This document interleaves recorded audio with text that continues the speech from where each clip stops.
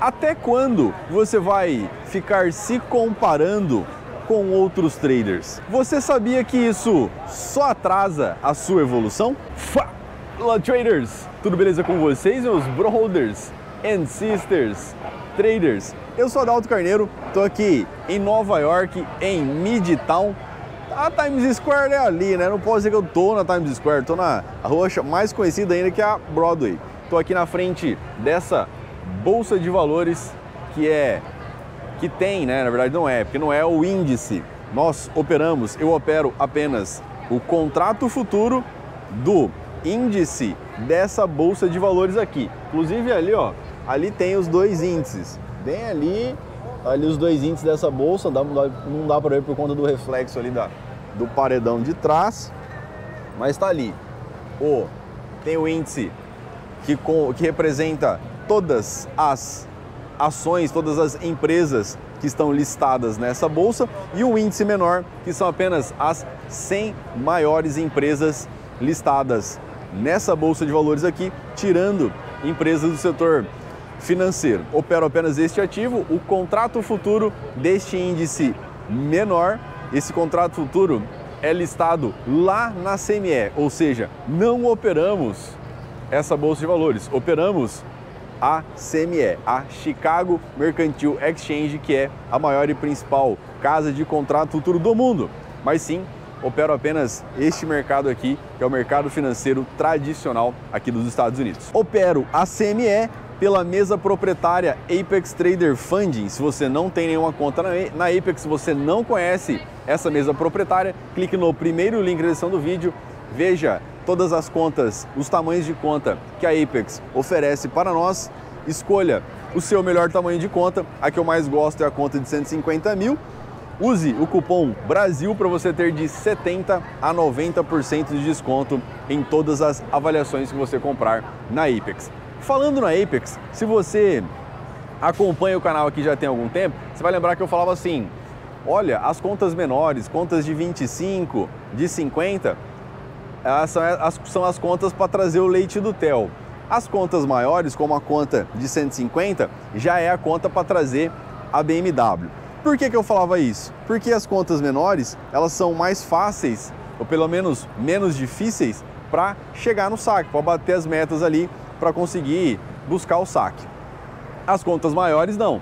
As contas maiores tem, são metas maiores, ah, demora um pouco mais para vira o saque. Só que quando o saque vem, já é um saque ali a partir de 2 mil dólares, já é um valor um pouco mais expressivo. Era mais ou menos isso que eu queria dizer. Naquela época, e eu ainda. Eu lembro que eu falei dessa. dessa fiz essa analogia da BMW, que eu fiz as contas lá e falei: bom, quando eu fizer um saque bom aqui, vai dar para eu comprar uma BMW. E de fato, o meu, o meu saque recorde, o meu maior saque, deu um total de 36 mil dólares, 190 mil reais eu acabei comprando uma BMW, comprei uma, uma Z4, uma Z4 antiga, uma Z4 2011, comprei uma Z4 2011, custou 150 mil. Mas eu não fiz o saco para comprar a BMW. Mas na época eu falava, né? Bom, quando eu fizer uma grana aqui, eu vou comprar. É, quando eu fizer o primeiro saco, eu vou comprar uma BMW. Eu até comprei a BMW não por com, querer comprar a BMW, foi mais que eu fiquei sem carro. A real é essa. Fiquei sem carro, queria comprar um carro maneiro, não queria gastar lá 500 mil reais no carro, acabei comprando essa Z4.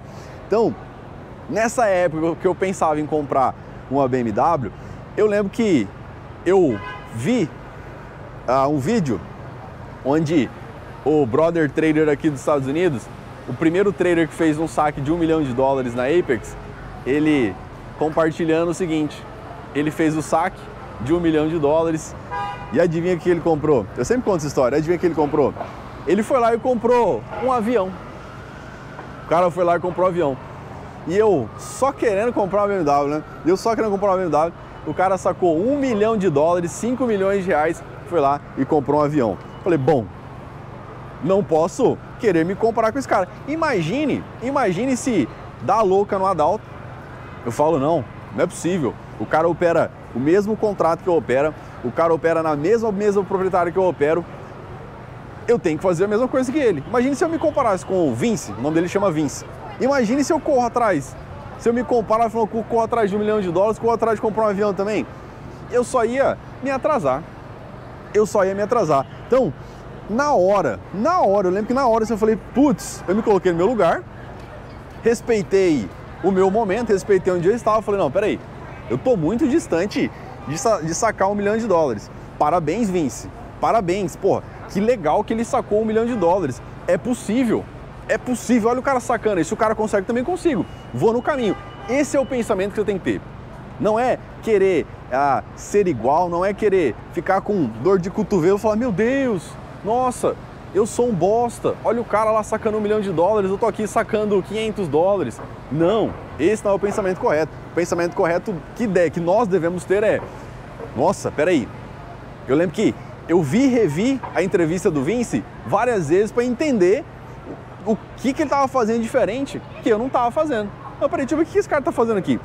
E eu peguei muito, muito, não, não chega a ser insight, né? Eu peguei, um, eu peguei ali, eu peguei, eu consegui entender, consegui entender. O Vince, ele falou que ele operava muito pesado, muito grande, e aí ele perdia tudo que ele fazia de manhã, ele perdia à tarde e começou a fazer diferente, começou a operar pequeno, começou a fazer uma grana pequena, valor financeiro razoável, pequeno, porque ele buscava antes 5, de 5 a 10 mil dólares. Ele começou a fazer uma grana pequena e aceitar essa grana pequena. Ficar tudo bem com isso, ficar tudo certo com isso. Eu tenho que fazer isso, eu tenho que fazer isso. Acabou de passar uma, uma Lambo ali. Eu extraí tudo de bom que o Vince estava fazendo naquela época, tudo que ele compartilhou naquele, naquela entrevista dele. Falei, eu vou tentar trazer essa, essa atitude, esse comportamento dele, essa estratégia dele para minha realidade, porque eu estou fazendo aqui. E deu certo, né? E deu certo. Então, meu brother trader, quando você vê um resultado positivo, quando você vê alguém fazendo um saco, quando você vê alguém aprovando conta, comemore junto com a pessoa e não se diminua perante a isso. Beleza? Tome muito cuidado, não se compare com ninguém, compare-se com você mesmo da semana passada, do mês anterior. Não compare-se com ninguém. Combinado? Grande abraço e até o próximo vídeo.